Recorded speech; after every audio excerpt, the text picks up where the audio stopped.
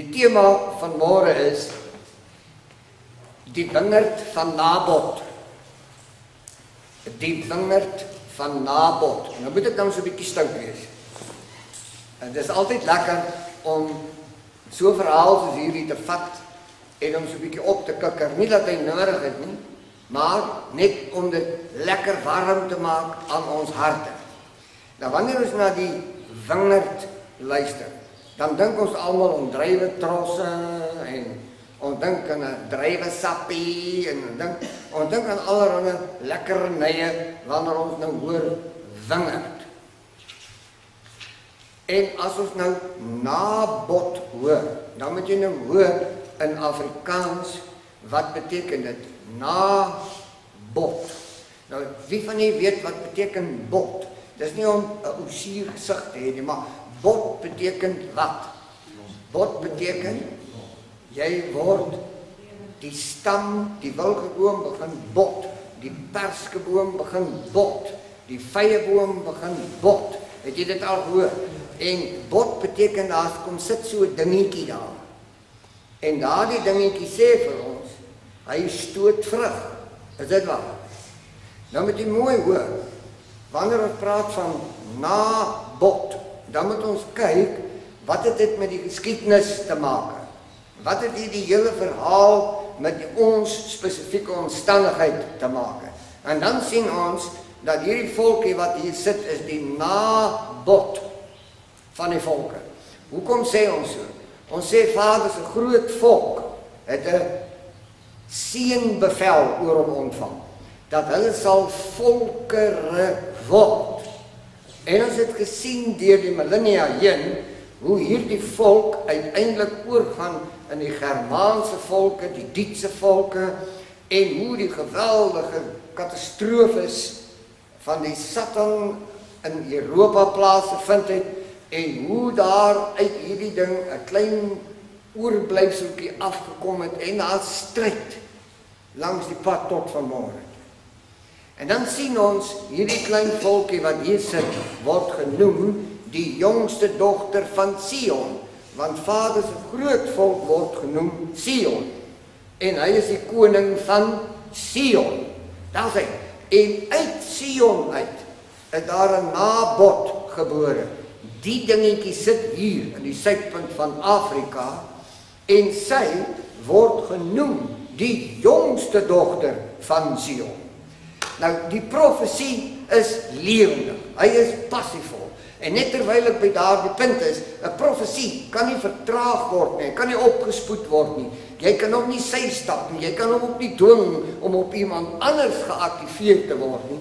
Jy kan hom ook nie mis nie. 'n Profesie as hy uitgespreek het, is 'n krag wat uit die Elohim uitgaan.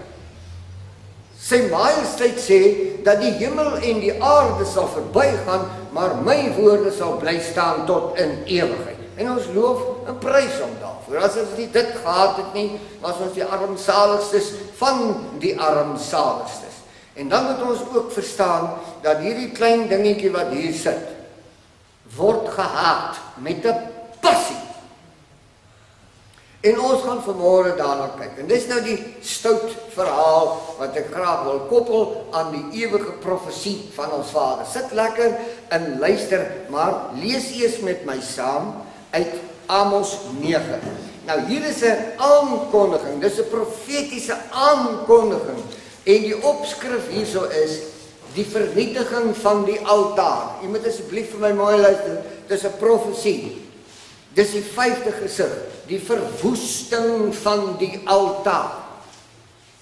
Die verwoesting van die altaar. Ek gaan waag vanmôre om vir u hier te kom sê dat die altare wat gebou is binne hierdie volkshuis gaan verwoes word, want dis nie altare wat Vader dien nie. Dis nie altare wat die volk tot eenheid voor sy aangesig bring nie. Dis nie altare wat die nabot voor sy aangesig in sy groeifase koester en haar lief hê en haar beskerm nie. Die teendeel is bewys hier buite.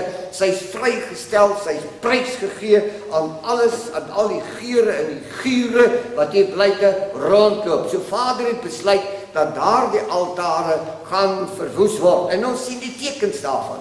Ons sien die verval daarvan. Ons sien dat hoe ons mense uit die kerke uit wegloop en dis die besorgdheid van my hart want waar gaan hulle heen? Want die wat weet is nie 'n bassein nie. Die wat weet is nie 'n vletjie wat blaas nie. Die wat weet is nie 'n harde stem wat roep in die woestyn nie. Op 'n klein minuutie ek sê net draai die volume op. Ons is besig om binne in die ritme van die profesie te beweeg. Hoeveel van ons sien dit En as heerlik om te kan verstaan dat wanneer jy binne die profesie deelgenoot is, is jy deel van die krag, jy's deel van die passie, jy's deel van die wysheid wat uit die troonkamer uitgaan. Maar ons gaan praat oor hierdie klein nabot wat hier sit en ons lees die eerste versie van Amos 9.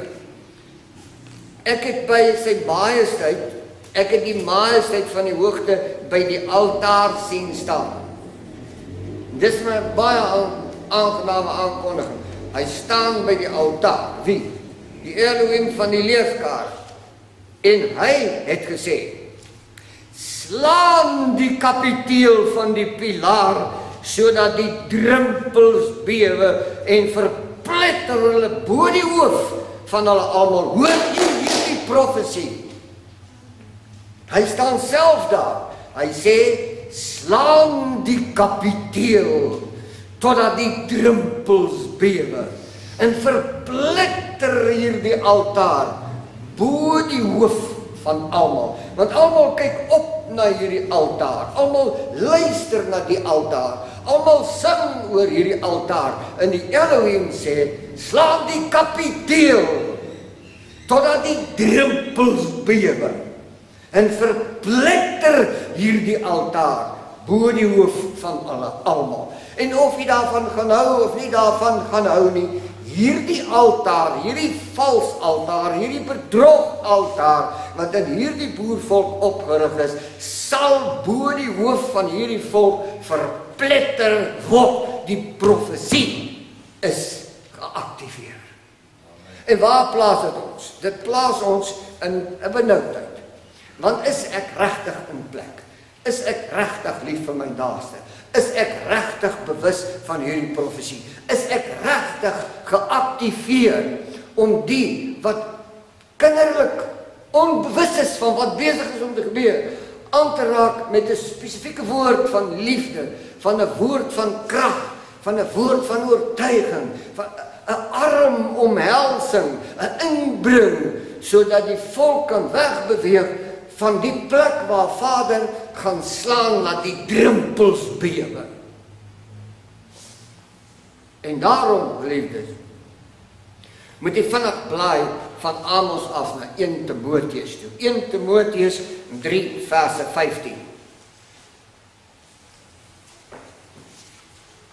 Nou Paulus onderrig vir Timoteus hierso. 1 Timoteus 3:15 En dan sê hy die volgende: "Verdra my asseblief vanmôre. Wil graag 'n pragtige woord by u kom neersit." Maar as ek vertoef, sê Paulus, dan kan jy weet hoe iemand hom moet gedra in die huis van Elohim. Maar as ek vertoef, dis Paulus wat vir Timoteus so sê. Hy sê Timoteus, luister vir my. As ek vertoef, met ander woorde, is dit nie dadelik by jou opdaag nie dan sê hierdie wonderlike ding, dan kan jy weet hoe iemand hom moet gedra in die huis van Elohim. Ons sê dit vanmôre, die koning vertoef nie waar nie. Maar hoe gedra ons ons in sy huis terwyl hy vertoef? Hoe gedra ons ons? Ons reken nog baie tyd en ons reken ons kan nog 'n bietjie die kant toe skoffel en 'n bietjie daai kant toe wals en so meer. Maar Ons het 'n spesifieke opdrag hoe ons onsself binne in sy huis moet gedra terwyl hy vertoef. En ons gaan daarna kyk wat die gemeente van Elohim is 'n pilaar en 'n grondslag van waarheid. Met ander woorde, wat noem hy hierdie waarheid? Wat noem hy hierdie gemeente? Hy sê hierdie gemeente is 'n pilaar man. Dis 'n pilaar. Hy sien hom as 'n pilaar waarop alles rus. Hy sê hierdie gemeente is 'n pilaar van waarheid. Nie storieetjies nie. Waarheid. En Dit 1 Timoteus 4, blaai net oor na die volgende hoofstuk, die 1 Timoteus 4 vers 1. Maar die Gees. Nou Paulus sê, maar kom ek by hoofstuk 4 dan. Dan sê hy, maar die Gees, dis hoofleier. Dis die Elohim. Maar die Gees sê uitdruklik dat in die laaste tye sommige van die geloof afvallig sal word en verleidende geeste en leringe van duiwels sal aanhang. Nou, dit is 'n profesie. Dit is uitgespreek. Dit is waaragtig waar. Hier in hierdie land loop dit op die WhatsApp en die internet rond. Daar word vir my goedjies gestuur en ek lees met verbuistering en ek sien dat die geskiedenis is besig om te herhaal die die die uh, hekse en die toerderye word aangebied word met 'n smaak en met 'n glorie aangekondig oor Nabot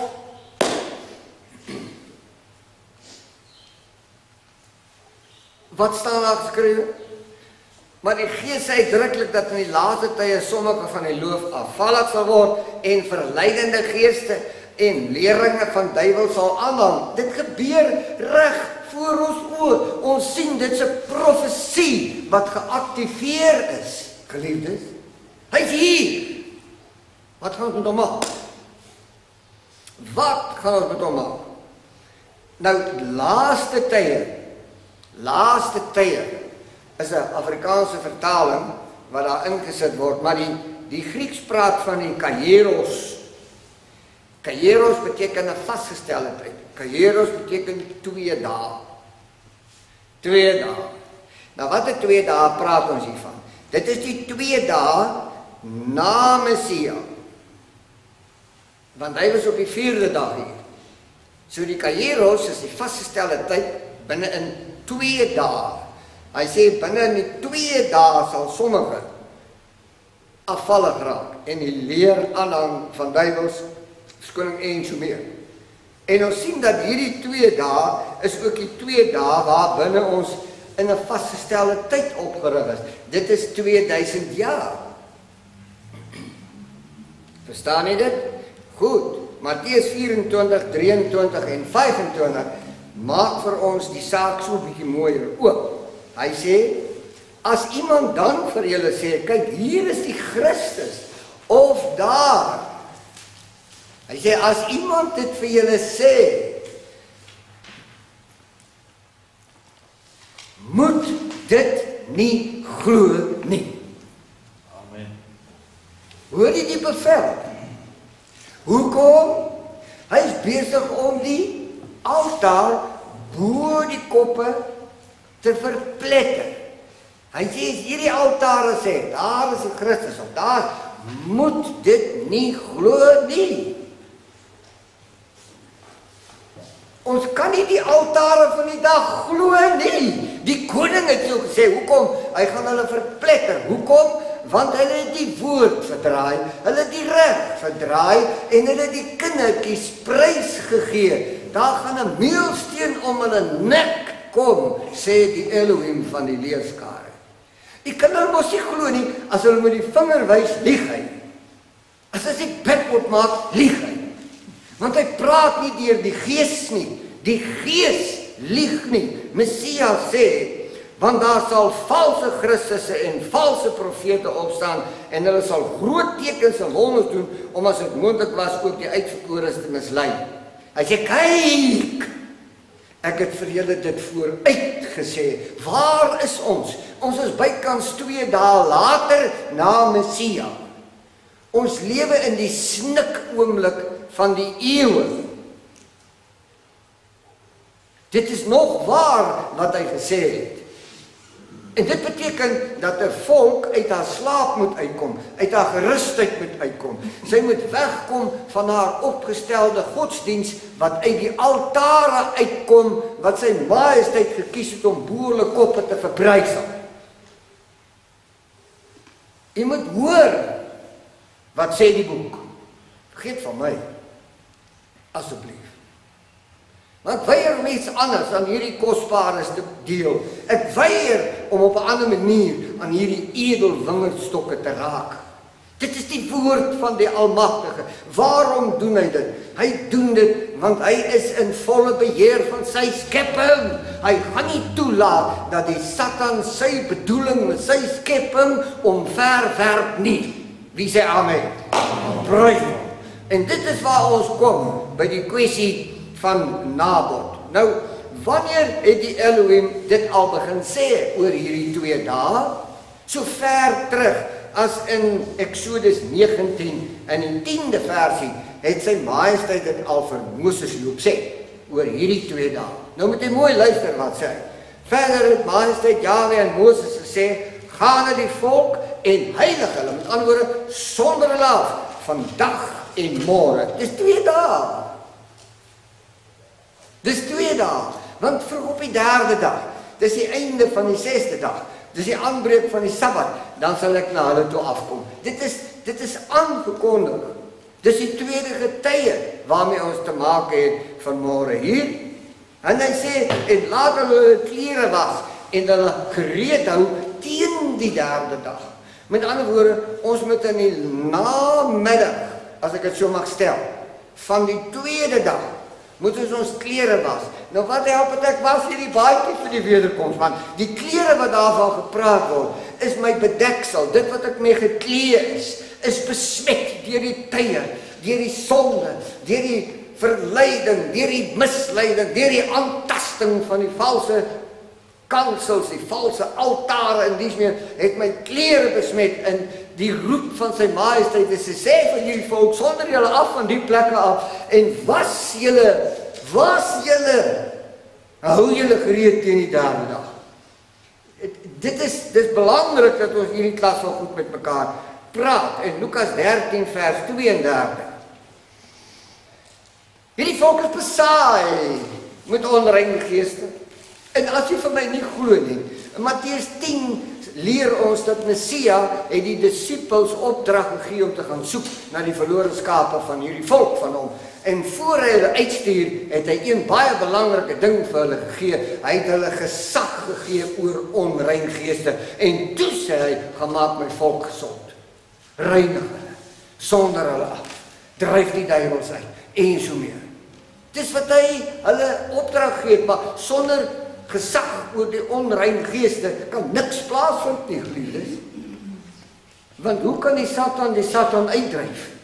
'n Belaglike besigheid. Maar ons kyk wat sê hy Lukas 13:32 en hy praat hier van die van Herodes. En hoor wat sê hy?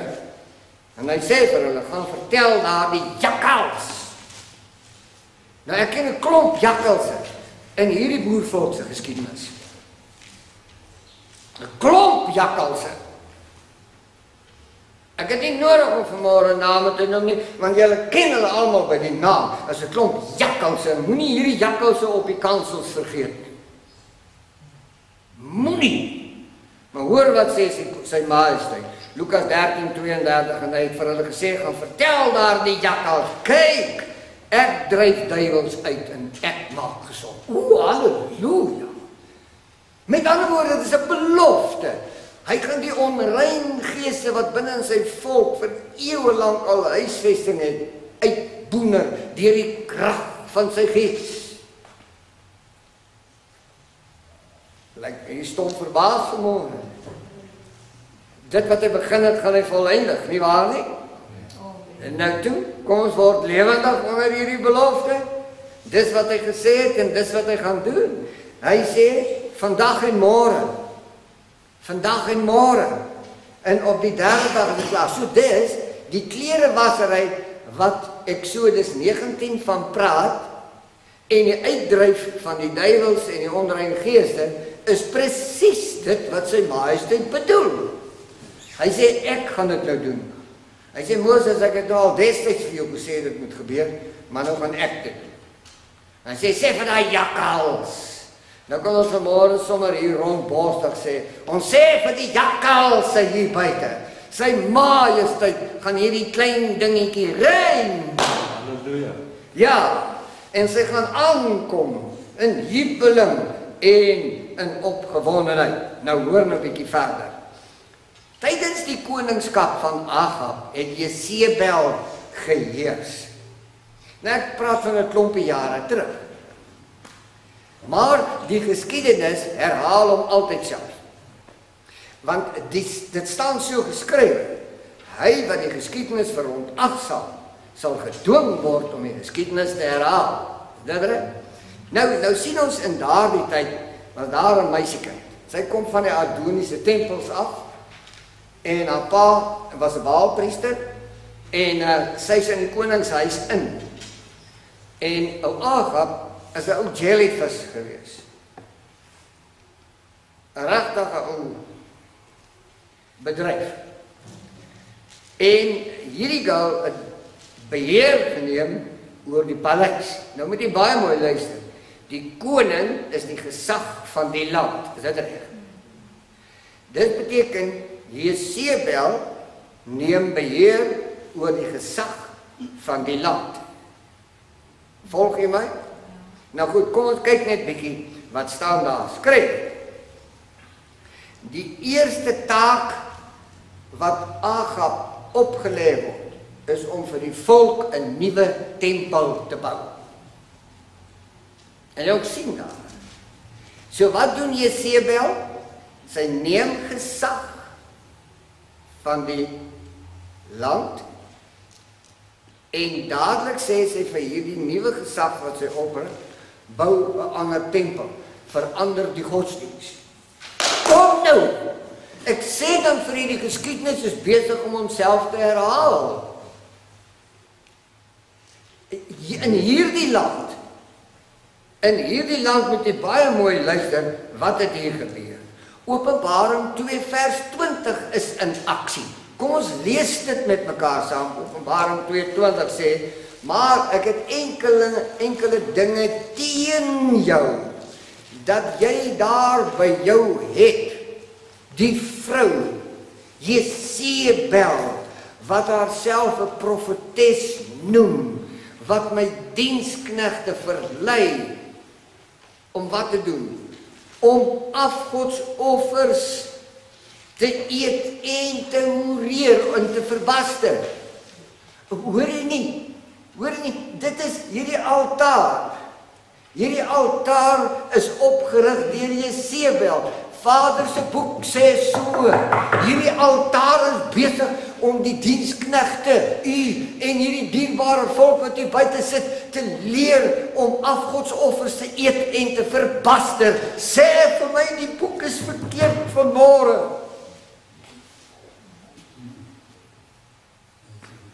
kan jy verstaan waarom die profesie onafwendbare werk want hy sal hierdie altaar bo die koppe van almal verpletter. Dis die profesie aan Amos. Geliefdes. Weet jy wat beteken Jezebel? Leraars van Baal. Of is dit dan wel vals leraars van Baal? Bel is 'n ander naam vir Baal. En hulle dien die vader van die leuen. Sy naam is Hallel, die Satan. Dit sê ons dat die Satan rig 'n altaar binne die volkshuishouding op en hy gee voor dat dit die altaar van die Allerhoogste is, maar terwyl hierdie altaar opgerig word, is hierdie altaar besig om hierdie klein nabot te leer om te vermeng en te verbaster en afgodsoffers te eet. sien u nie die werklikheid reg voor u oë geopenbaar nie? Daarom pleit ek vir 'n dringendheid. Daarom pleit ek vir nuwe energie en 'n nuwe verstaan. Daarom pleit ek dat ons amper roekeloos moet dee, meedoenloos die woord van die Almagtige sal volg en dit bekend maak aan die ore van die wat ons voor lief is. Hoe ruk 'n mens 'n stuk hout uit die vuur uit? Kyk jy daar, kyk jy hoe brand hy? En neem jy 10 dae besluit om dit te doen? Hoe maak jy met 'n 'n stukkie uh mooi kiaat wat hulle per ongeluk in die vuur laat beland het. Wat maak jy met hom? Die boek sê ruk hom daar uit. Maar jy moet nou nie aan die boeties se sissies gaan ruk nie. Party ons is nikkerig, maar Vader sê jy moet hulle uitruk uit die vuur. Moenie staan en kyk nie. Vat die boek, vat die profesie, vat die feite, vat die geskiedenis, maak 'n sissie, maak 'n boet staan en sê vir hom, word wakker. Kan jy nie sien wat is besig om te gebeur? Hier is die feite. Sien geliefdes. Die stryd. Die stryd. In hierdie tyd om die evangelie te verkondig, is 'n geweldige stryd. Ja. Dis 'n geweldige stryd. Dit is dit is geweldig. Want want die volk haat waarheid. Weet jy hoekom? Omdat hierdie altare het vir haar iets anders geleer. En dieselfde altaar sê nou as hierdie ouens na julle toe kom, dis 'n leuen uit die hel. Nou haat hulle waarheid. So jy kan nie met 'n poeierkwas bediening die kant toe gaan nie. Jy moet kragdadig met die krag van die Gees van die Allerhoogste binne in hierdie terrein funksioneer. Die teendeel moet uit u binnekant uitborrel soos 'n fontein van lewende water. Ja, Ai, geliefdes. Let op na die volgende fase. Toe sy nou ou koning Agab trou. Toe klim sy nou bo op sy kop. Dis die eerste ding. In hierdie land het ons gesien, hierdie Jesebel waarvan Openbaring 22 praat, het bo op Efie se kop geklim. Sien jy dit? Ja. En onmiddellik daarna word 'n nuwe era ingelei. Reg? Reg?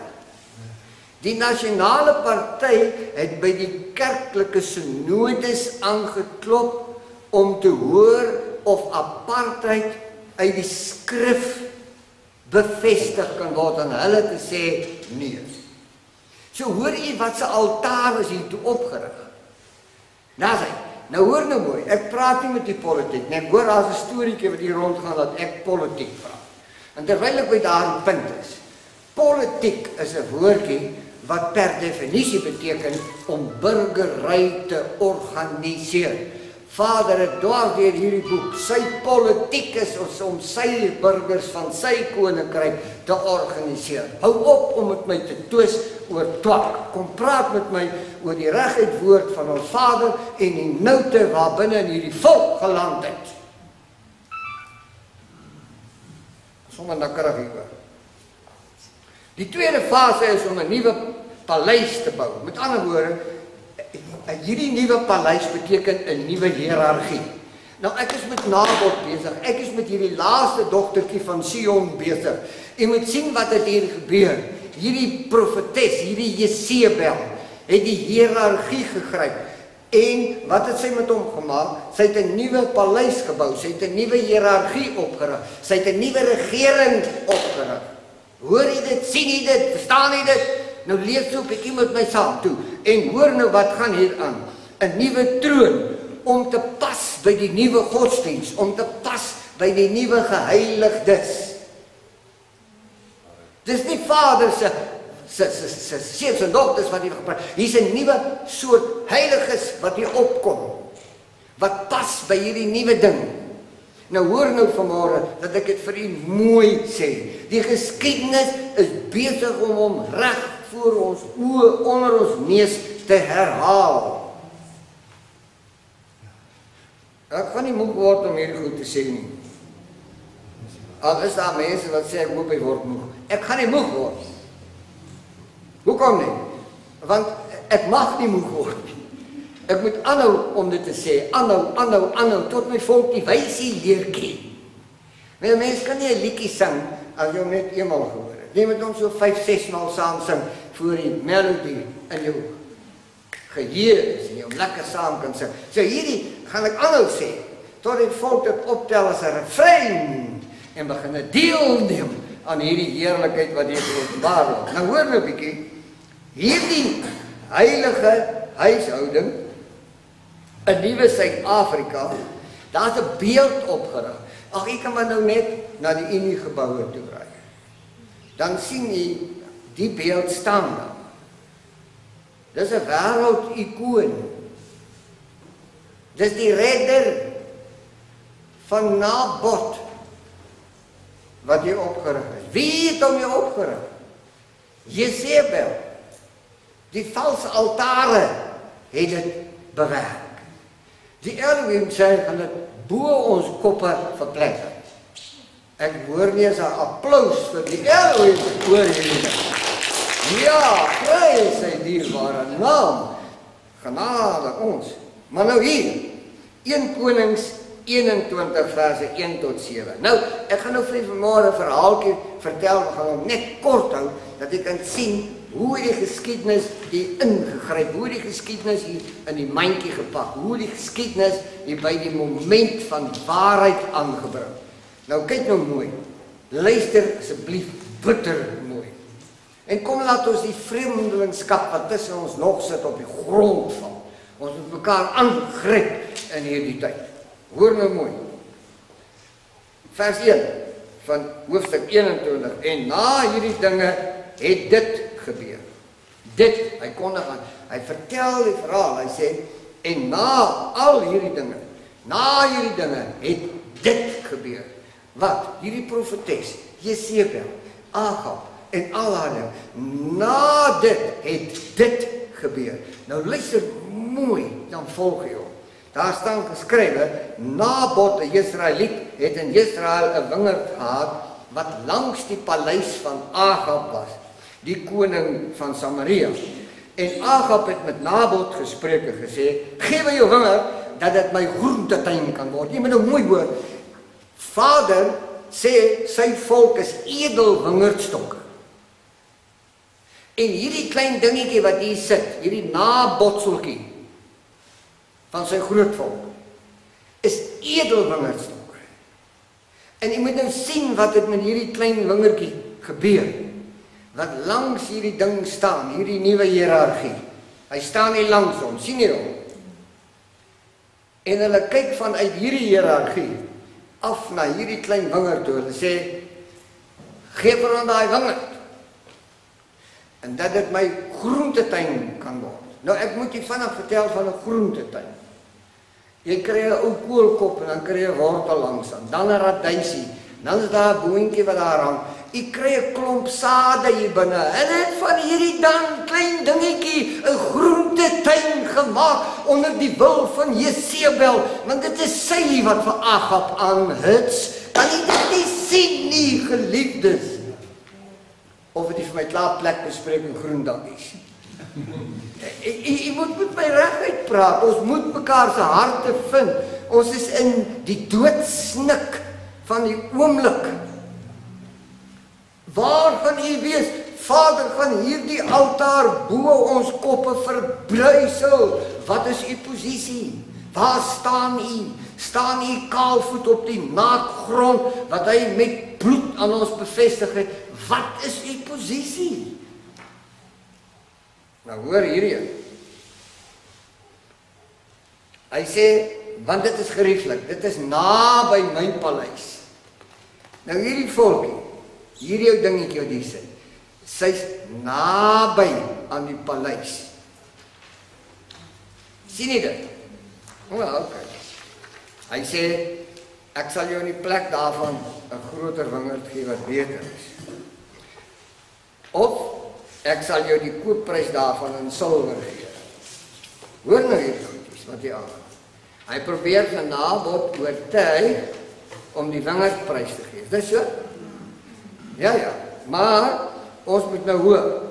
Ons moet nou hoor wat sê Nabal. Ek mag die erfdeel van my vaders aan u nie gee nie. Ek mag die erfdeel van my vaders aan u nie gee nie. Het jy dit al gelees? Wat het in hierdie land gebeur? Praat met my, wat het hier gebeur? Die erfdeel van die vaders is vir Agab gegee. Ja, 1994. Onthou dit. Die geskiedenis herhaal homself. En toe toe Nabot nie wou nie, toe doen hy die volgende ding. Hy sê Jesebel sê Wat sê hy? Hy sê nie hy gaan nie sê wingerd vir my gee. Jy gaan nie van my wingerd 'n groentetuin maak nie. Sy sê byt net bietjie vas. En toe rig Jesebel twee valse getuies op wat sê dat Nabot die Elohim en die koning gevloek. Dit reg. En toe stenig hom maak hom dood. Kom nou. In hierdie land is twee valse getuies opgerig, kerk en politiek. En hierdie twee sing saam. Hierdie volk het gesondig teen die Elohim deur apart te wees. Die geskiedenis herhaal hom reg voor ons oë. Kan jy dit nie sien nie? Nou wil hy ek moet sagte godsdienstpraatjies met u maak. Hierdie volk het dit nie nodig nie. Sy krag nodig, sy insig nodig, sy visie nodig, sy passie nodig. Nou goed. Oef. Goed maak my op. Jesaja 5 vers 1 tot 2. Jy moet hoor Jesaja se toekoms 'n toekomende profesie. Dis 'n profesie wat aanrol vandat hy gespreek is, sal hy aanrol tot aan die volëinding van tyd. Hy sal hom bly herhaal. Hier kom hy. Laat my tog sing van my beminde. Dit is die Almagtige. Hy sê ek wil sing oor my beminde. Hoekom? 'n Lied van my beminde oor sy wingerd. Hy sê my beminde het 'n wingerd gehad op 'n vrugbare heuwel. Nou moet ons kyk, hy praat nie van 'n berg nie, hy praat van 'n heuwel. En die skrifte beteken 'n heuwel 'n klein koninkryk en 'n berg 'n koninkryk. Hy sê hy het wingerd geplant op 'n vrugbare heuwel. Nou as ek stink vanmôre man, ek sê hierdie volkie wat hier geplant is, is edelwingerdstokke wat hier kom plant het en hy het hulle 'n vrugbare koninkrykie gemaak. Ag, eh, ons moet vanmôre vir mekaar 'n paar goed sê. Dat hierdie volkie in binne in die bestek van 3 eeue uitgereis het tot in die in die geleedere van volke wat eeue en eeue en eeue en millennia is. Sy het hulle verbygesteer en volgens sy belofte het Vader haar die kop van die nasies gemaak. Prys sy naam. Hy het dit so gesê. Maar wat het van haar geword? En die Sat het gesien hoe hy dit gedoen kan kry. Hy het dus dan 'n ander altaar gebou wat haar van koers afgevat het. Openbaring 20 vers 2 word fisies herhaal in boereland. Kan jy dit nie sien nie? Hier is dit. Ons kan ons self verblind met die feite dat ons daarin is nie. Maar hoor wat sê Messia, hy vertel hierdie verhaal in Matteus 21. Hoor hoe kosbaar bou hy hom vanaf die 33ste tot die 38ste vers. Luister na 'n ander gelykenis. Hy sê luister naby, dis die koning aan die woord. Nou moet jy hoor wat vertel hy. Hy sê daar was 'n sekere huisheer wat 'n wingerd geplant het. Nou het ek nou net vir u gesê, wie is daardie heer wat die wingerd geplant het in Jesaja 5? Onthou jy dit?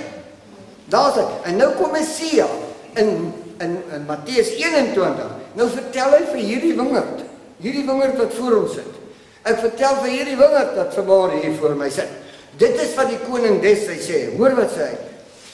En hy het heining daarom gesit en 'n parskyk daar gegrawe en 'n wagtoring gebou en hy dit aan die landbouers hier en op reis gegaan. Dit is Messia. Hy maak sy volk op mekaar en dan gaan hy op reis.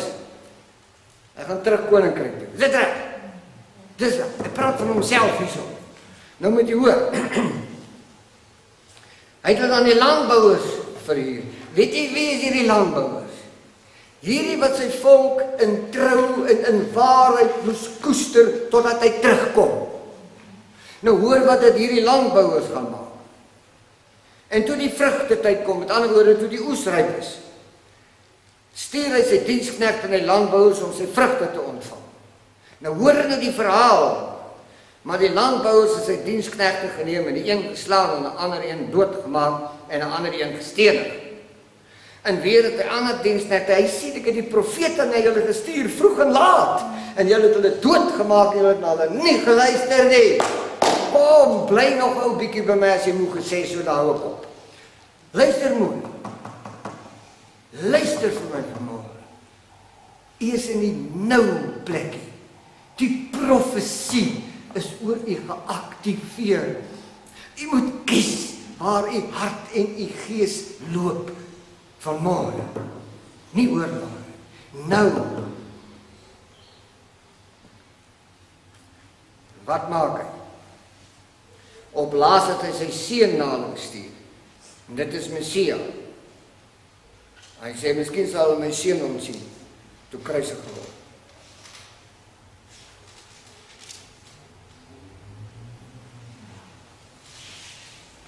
Hierdie boervolk moet hoor van môre. Die Elohim gaan jou altaar wat jy aanhang bo jou kop verbrys. Waarom? Want jy die gunstige tyd toe die Elohim jou op 'n heeltjie geplant het in jou kop van die nasies het hom nie in herkenning gehou het ander goed aangeneem. Hy gaan hierdie altaar bo jou kop afbreek, boervol. Maar moenie moenie ongemaklik daaroor voel nie. Uh Vader is reeds 'n aksie aan die gang. Prys hom daarvoor. Prys. Nou moenie vergeet nie, ons praat oor die deugniet Agab. Ons praat oor die deugniet gees wat deur Agab oorgeplant is in die geslagte. Daarom sal ons sien dat hierdie volk is in die moeilikheid oor deugniete. Deugniete in die politiek, deugniete op die kansels. Hulle het hierdie volk in 'n troebel ding gedompel en die bloukop dogtertjie sy word mislei want sy is die enetjie wat die baarmoeder dra en sy moet daardie baarmoeder vir die nuwe kansel gee sodat daar 'n nuwe baster geslag gebore kan word sodat die naam van die Elohim uitgewis kan word in die suidpunt van Afrika.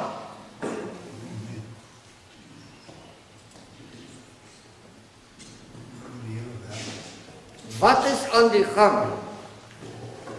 'n Groentetuin. Waar is die manne en die vroue? Waar is die jong mense? Die wat vol passie is om te sê ons sal die erfstuk van ons vaders nie gee nie. Waar is het? Waar is hulle vanoggend? Waar is hierdie volk wat heeldag op die sypaadjies loop en kan oor die toestand sien hulle dan nie? Hoor hulle dan nie?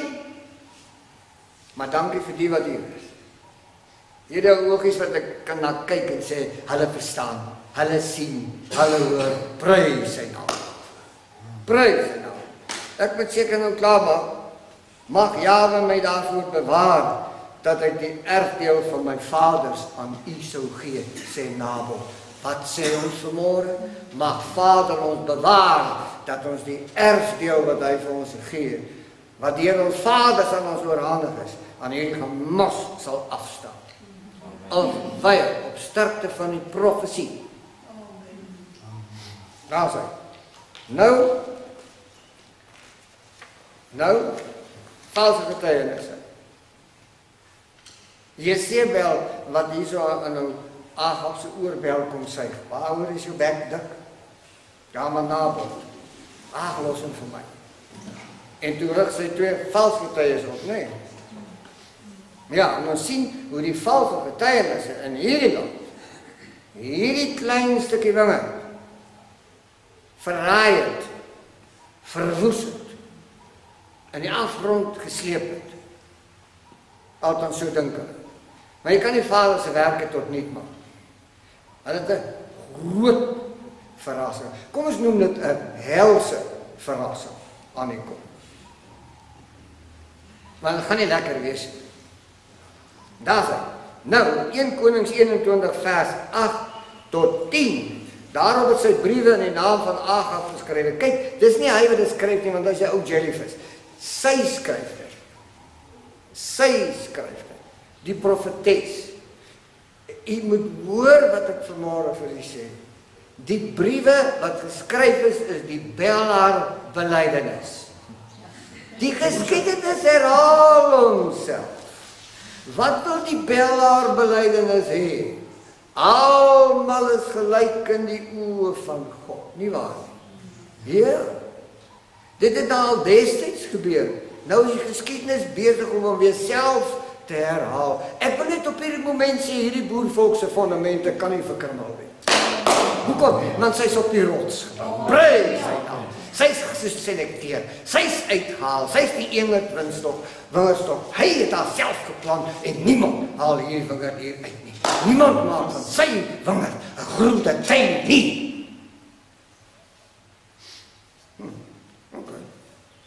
Ek gou baie van. Matteus 26 61. En dit nie anders Jesebel van daardie tyd wat in beheer was van die godsdiens, het nie anders gehandel met Messia nie. Onthou, Nabot het 'n winger en Messia het 'n winger.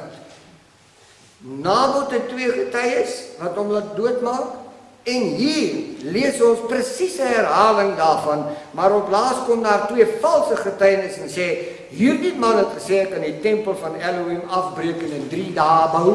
Twee valse getuienis en hulle het die valse getuienis opgestel om die volk op te sweep.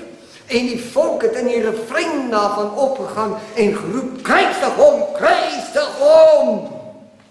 Aan die hand van valse getuies. Ek sê vanmôre op sterkte van my asem wat in die holligheid van die Elohim se hand lê, die valse profetes hier buite het gesê kruisig julle losser, hy beteken niks. Hy's ongeskik, hy's gelyk gemaak aan die voorvader geeste. Amen. Amen. En die volk doen wat? Die volk sê amen. Hoekom? Die altaar, kan jy nou verstaan dat Vader gaan hierdie altaar bo hulle koppe verpletter. Halleluja. Kan nie wêreld hiervan hou. Ek gee nie 'n flinter om. Hom. Geen hom. Kan sê vir daai jakkals. Die Elohim het gesê, hy gaan die boervolk reinig. Kan sê vir daai jakkals. Kan sê. Nie sê ek sê so nie. Die Elohim sê. Hy sê gaan sê vir daai jakkals. Gaan sê vir daai jakkals, die Elohim gaan sy volk afsonder en reinig. Hy het so gesê. Dit kan nie gestop word nie. Sefanja 3 verse 8 tot 9. Ek wil daas afsluit, maar luister net my hart vanmôre uit. Verstaan nie dat al die hel het oor die klein nabot oopgebreek. Hoekom? Sy's edelwingerdstok. Hou die Satan van 'n edelwingerdstok? Nee. Is u bly dat u vanmôre kan hoor u is 'n edelwingerdstok? Ja. Nou sê ek haleluja dat 'n man kan hoor. Nou ja toe. En dit is die passie van die oomblik. Jy kan nie ontwortel nie, wortel word nie. Hoekom? Want die Elohim het jou geplant. Amen. Net hy kan jou daar uithaal. Niemand anders op die aarde nie. Dit is vas. Prys sy naam, hy gaan dit doen. Hy sê, "Kyk, jy word uitgeroep. Uit wat uit? Uit die verleiding uit.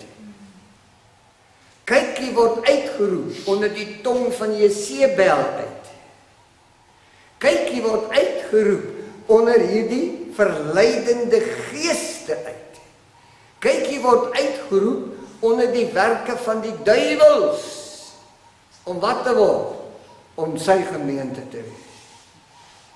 Hierdie dingetjie wat hy na luister en waarop sy oog gefestig is. Want hy het daar 'n plan. Hy het 'n verbond met haar gesluit en verragtig, hy gaan haar dwing om die ander kant van die gelofte na te kom. Die dag is op hande. Ek ken nie die uur nie, maar ek sê vir u. Sefanja 3:16 sê in die dag sal aan Jerusalem gesê word: Jerusalem is sy volk. Dis nie die bakstene wat daar in Palestina staan nie. Kom tog los. Jerusalem is die volk van Salem. Dit is die volk van die Allerhoogste. Hy sê in die dag sal aan Jerusalem gesê word: "Vrees nie o Sion en laat jou hande nie slap hang nie." Om wat te doen? Om wat te doen? Want daar's 'n klein dogtertjie daaronder. Daar's 'n klein dogtertjie daaronder wat ek geplant het. Laat jou hande nie slap hang nie. Ek sien hier's 'n profesie wat hier in vervulling gaan oor hierdie klein dingetjie wat hier sit. En dis seker al vegbaar, maar ek is nie baie klaar daaroor nie. Ek lees net wat in die boek staan.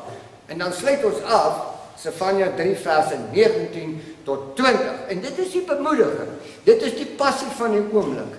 Ons gaan net gou opsom. Dit beteken die vreemde altare gaan verpletter word. As kan ek 'n amen kry? Ja, hulle gaan verpletter word. Twee, dat Vader gaan sy volk onder die leringe van hierdie valse altare uitbring. Kan ek 'n amen kry? Dit gaan so wees. Ja, dit is pragtig, dit is dierbaar.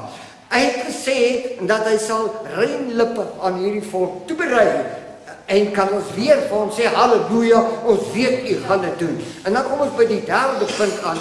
Hy sê en ek sal hulle vestig en niemand sal hulle ooit weer uit my hand uittrek nie. Wat sê die volk daaroor? Sy sê amen, dit sal so wees. Dit sal so wees en ek sing daaroor. En hoor nou mooi, kyk in die tyd sal ek met jou verdrukkers handel. Ho haleluja, dis 'n profesie in vervulling. Hy sê kyk in die tyd, watter tyd? Hy sê wanneer ek hulle uithaal, wanneer ek hulle uithaal onder hierdie valse altaar onder hierdie valse leringe. As ek hulle uithaal en maak hulle bymekaar en ek laat hulle staan as klein nabot hierdie boervolkie wat ek hier geplant het, dan gaan ek met jou verdrukkers handel. Dis 'n waarborg, dis 'n profesie. My hart is in so jubelinge, kan ek nie hou nie. Hoor. En die wat krepele sal ek red en die wat verjaag is versamel en ek sal hulle maak tot 'n lof en tot 'n roem. Wie se skande oor die hele aarde was, weet jy, dat hierdie klein volkie so belieg. Die pers en die goed het gelieg oor hierdie klein volkie. Hulle het daar 'n skande gemaak oor die hele aarde. En hier kom Vader en hy sê, julle moet rus. En waar julle skande oor die hele aarde was, gaan ek julle maak 'n roem en 'n lof in die aangesig van die hele aarde. Ek dink jy gaan 'n groot haleluja hier opgaan. Prys sy naam. Woe. Oh. En die tyd sal ek julle aanbring.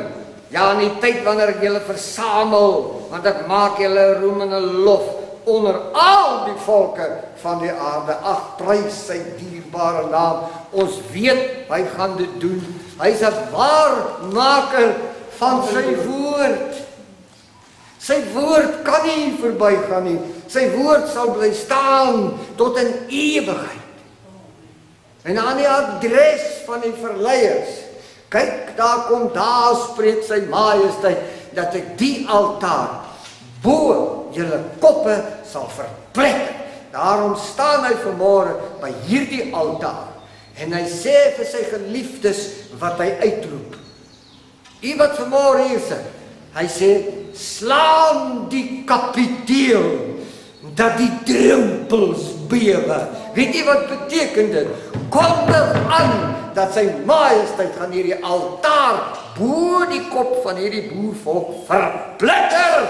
Prys sy dierbare naam. O halleluja. Ek loof, ek prys vir hierdie kosbare moment in ons lewe. En ag, hou op. Hou op om na hierdie gemeente toe te kom. En dan hier te kom sit met 'n lynklip gesig. U moet hier kom sit in 'n bewustheid. U moet hier kom sit dat Vader het julle gekies as die eerstelinge in wie hy die volksbewussyn wakker gemaak het. En ons is die wat die kapiteel moet slaan totdat die drempels bewe. Prys sy kosbare naam. Amen.